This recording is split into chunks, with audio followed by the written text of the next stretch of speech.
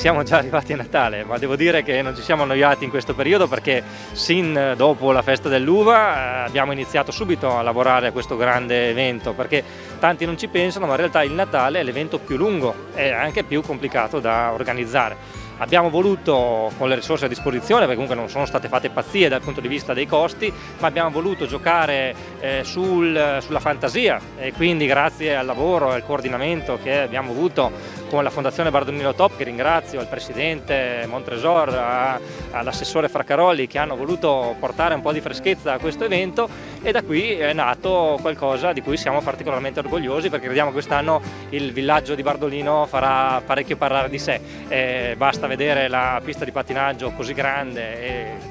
permettetemi di dire anche forse la più bella del lago perché eh, non solo così ampia ma anche perché è collocata in un posto magico, unico come potete vedere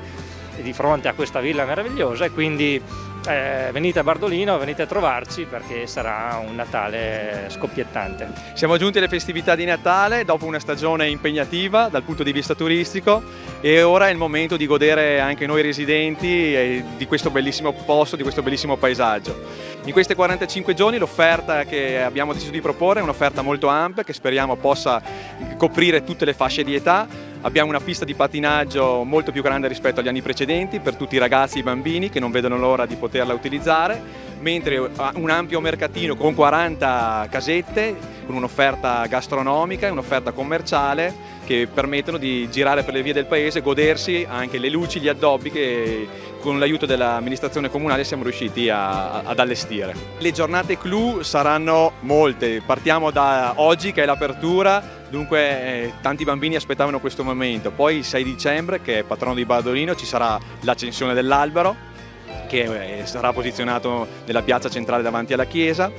poi varie attività durante tutto il mese di dicembre con il gran finale, con la festa dell'ultimo dell'anno dove torneranno i fuochi d'artificio, ci sarà un concerto di un'importante band e un DJ set fino, che ci farà ballare fino a tarda notte. Poi tutto terminerà il 6 di dicembre con il classico Bruyel per la bruciata la vecchia al centro nautico di Bardolino. Sicuramente questo è un periodo che dobbiamo rilanciare innanzitutto per eh, far vedere che Bardolino è interessante solo, non solo nel periodo estivo ma anche nel periodo invernale l'occhio di riguardo per il residente perché questo è il periodo comunque in cui il paese è vissuto da chi eh, il paese lo vive innanzitutto come residente ma chi ha l'opportunità